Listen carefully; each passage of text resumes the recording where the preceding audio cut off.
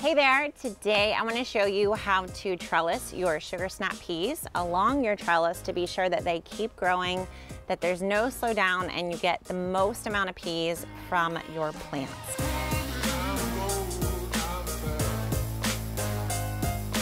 So today I'm working, it's late April. These peas have been planted in the garden for about, I don't know, three or four weeks. They're pretty slow to take off. It's been colder here some nights of frost and I haven't covered them.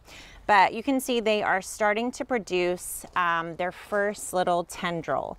So peas have this natural um, ability, they create their own climbers. So they have these little tendrils attached to their stems and they use these to grow vertically to protect and grow the vine.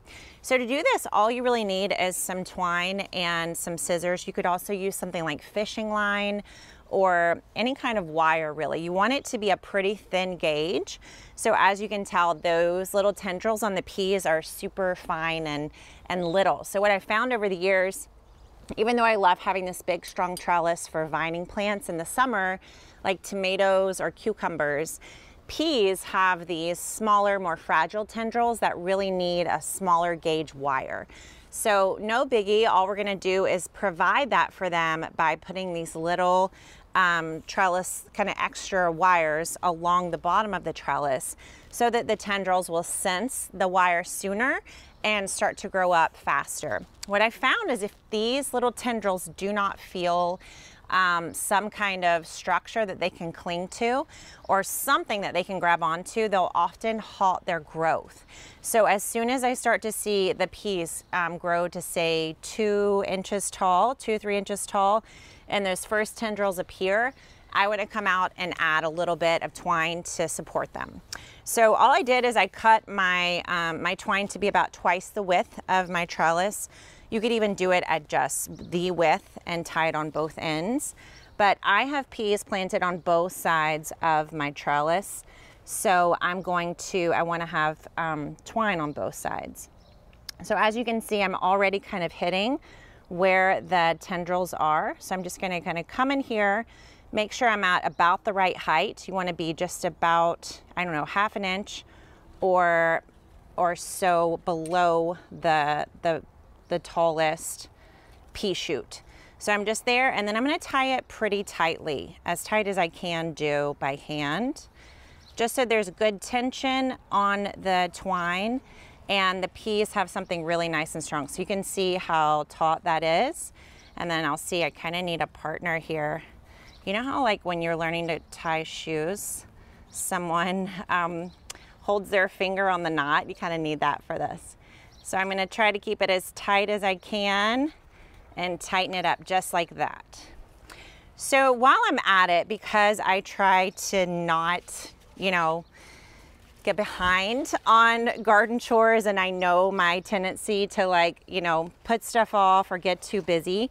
I'm gonna go ahead right now and just make probably two or three more of these so that over the next probably, I don't know, three or four weeks, these peas are supported all the way until they get to this height.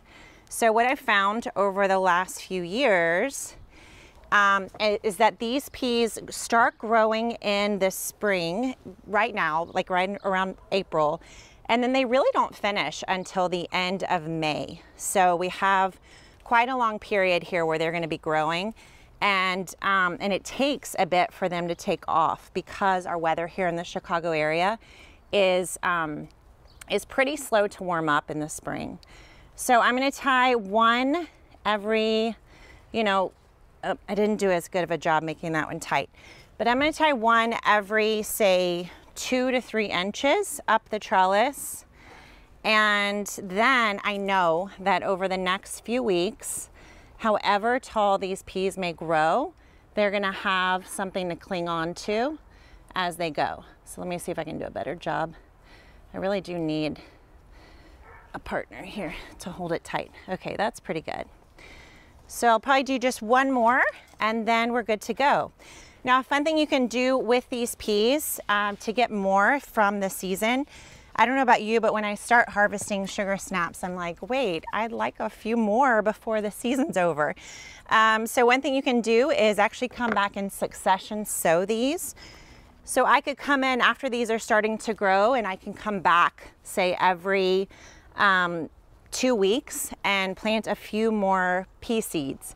Now I'm going to eventually replace these peas with tomatoes when we're past the frost date. But that doesn't mean that I can't still have peas climbing up these trellises before the tomatoes start to really do their thing. So there we go. I've just added a few extra pieces of twine here. It's gonna support the peas all the way up. And then once they get to this point, those vines are gonna be really trusting of this space now and know, hey, we're gonna be supported all the way up as we grow. I'll probably end up having to add a little bit of extra twine here on this next level but generally it's just getting them through the first six to 12 inches of growth. Once you do that, it's pretty much smooth sailing after that. So that is the way to trellis your peas from the start and make sure you get the most peas for your space in your kitchen garden. Thanks for watching.